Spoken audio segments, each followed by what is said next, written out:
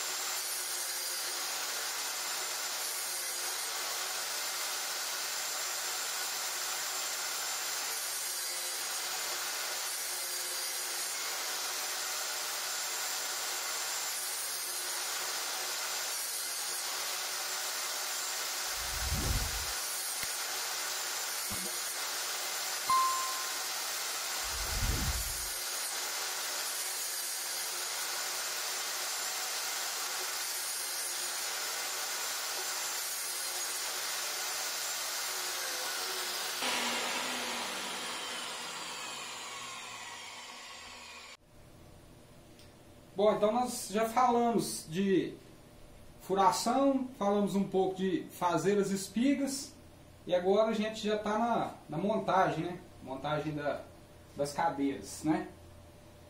Ali já está os encostos, né? Todos montados. Em seguida a gente passa para a montagem das laterais da cadeira.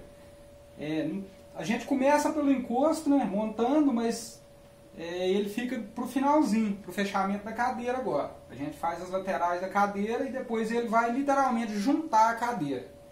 Beleza, pessoal? Então vamos fazer a montagem de uma das laterais aqui. E depois, logo em seguida, a gente vai fazer o fechamento da cadeira. Que é nada mais é do que as duas travessas e o encosto.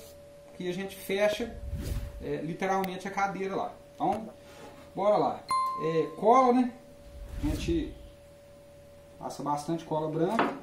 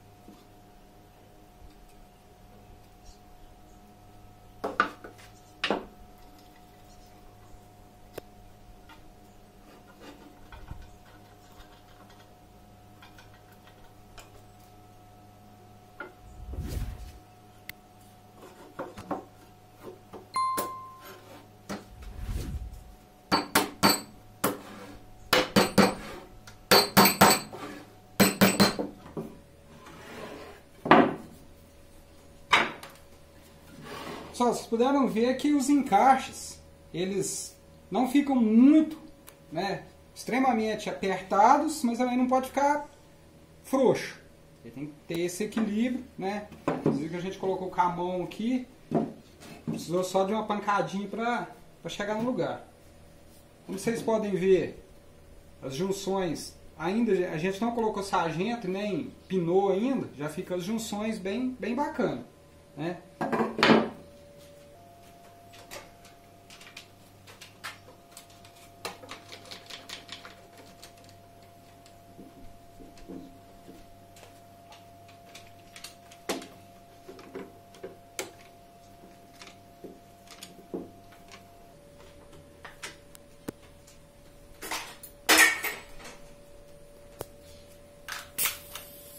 Pessoal, eu uso pinador, né, pra gente colocar pinos aqui nos, na, nas encaixes, né, pra travar, mas dá pra perfeitamente fazer com prego também, pra quem não tem o pinador.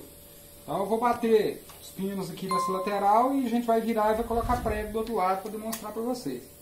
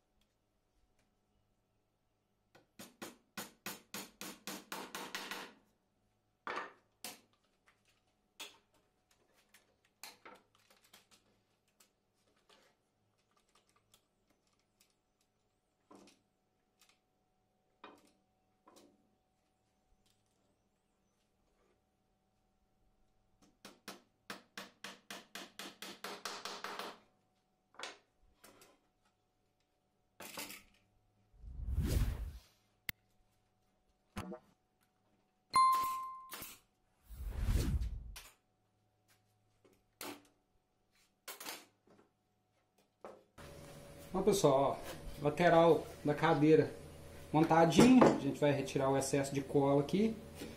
Coloquei os preguinhos na parte interna aqui, porque eu faço ela toda com pino. Mas eu coloquei preguinhos na parte interna, para demonstrar para vocês que para quem não tem o pinador aí, dá para fazer com preguinhos, fica muito bom.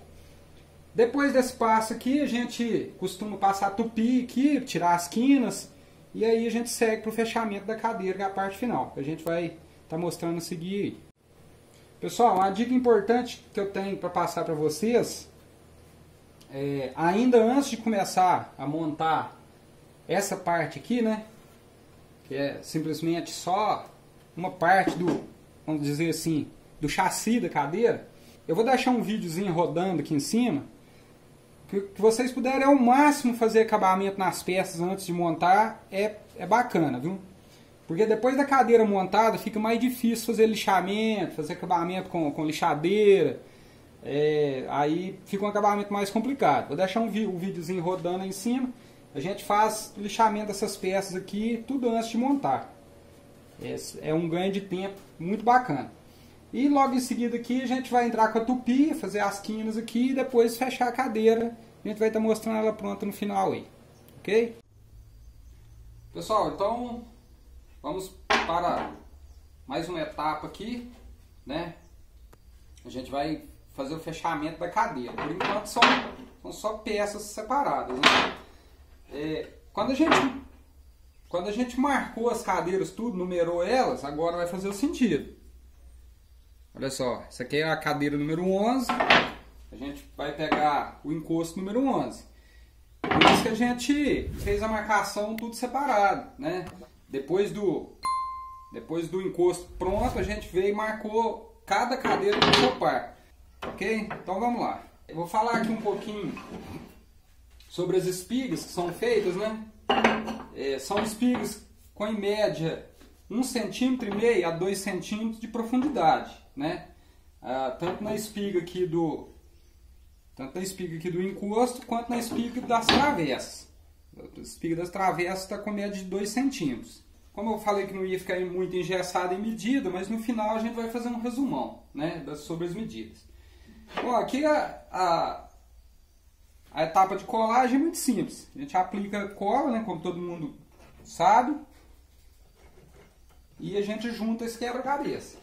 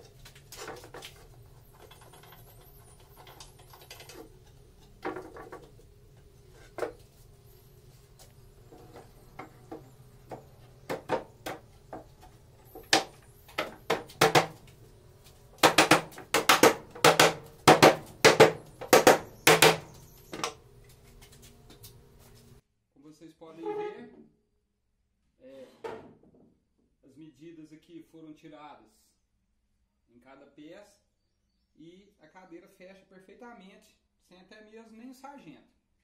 Só manual a cadeira já fechou. Então a, a gente coloca o sargento e faz o travamento da cadeira com pinos.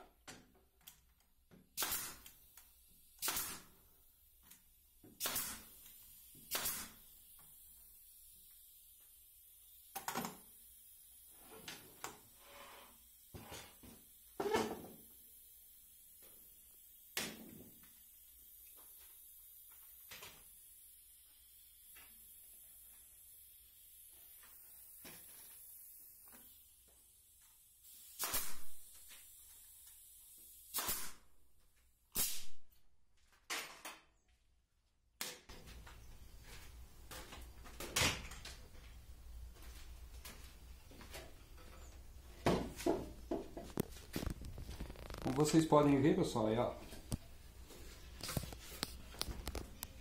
Fica um resultado muito interessante, né? É, para um trabalho feito com ferramentas simples, que a gente não tem nada de ferramenta sofisticada, né? Então a gente mostra que é possível, com um pouquinho de dedicação, tá fazendo um trabalho bacana, né? Qualquer pessoa com um pouquinho de dedicação e boa vontade possa fazer. E no final do vídeo, segura aí que eu vou falar sobre medidas. A gente vai pegar uma cadeira dessa, pôr aqui na bancada e a gente vai falar sobre medidas, para quem quiser copiar. Pessoal, então, hora de finalizar, né? A cadeira está quase pronta. Hora de instalar o assento aqui, né? Então a gente está com as peças aqui todas, esse é um assento ripadinho, duas reguinhas maiores para para iniciar e para finalizar e, e, as reguinhas menores no meio para ficar mais ou menos combinando com o encosto aqui. Então aqui já está devidamente cortado e feito ressalto. A gente vai instalar, vai colocar cola e a gente vai usar pino, tá pessoal? Pino de 40 milímetros, ok?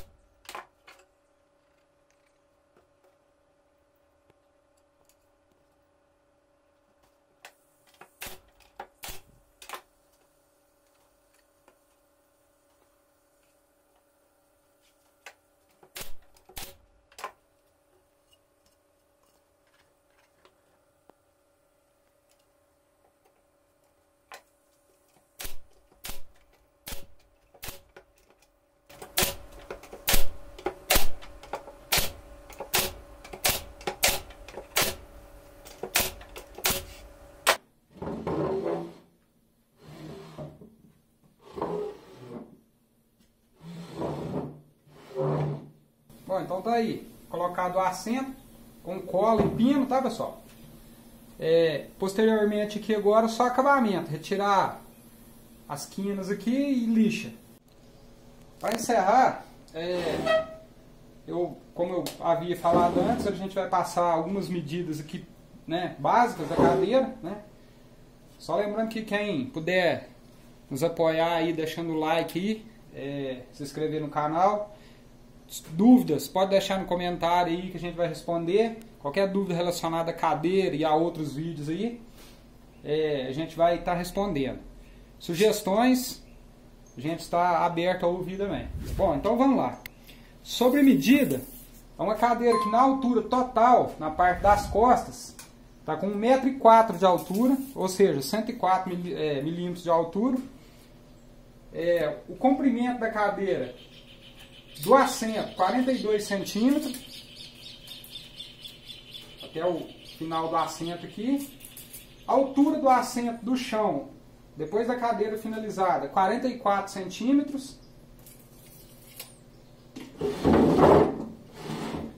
A largura né do assento total 41 centímetros e meio. Ok e a altura aqui e o tamanho né, da, do encosto aqui, 49 centímetros. Lembrando, pessoal, que essa cadeira, a mesma largura que ela tem aqui, ela tem no encosto. Tendo em vista que há alguns modelos de cadeira que abrem um pouco na parte da frente. Não é o caso dessa cadeira aqui. É, Existem modelos que abrem tanto nas pernas ou pode ser feito a abertura no assento. Né? Abertura feita no assento. Mas esse modelo aqui a gente partiu para o bem básico mesmo, que é o que o cliente quer, uma coisa mais rústica e mais básica.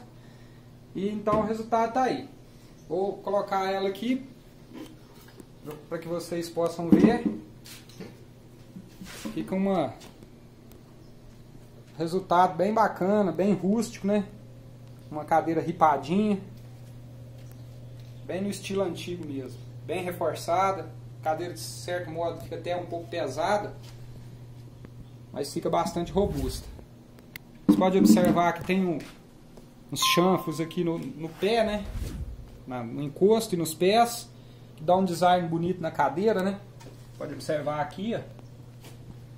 Só um detalhe que a gente faz para dar um, dar um diferencial na cadeira. Parte de trás da cadeira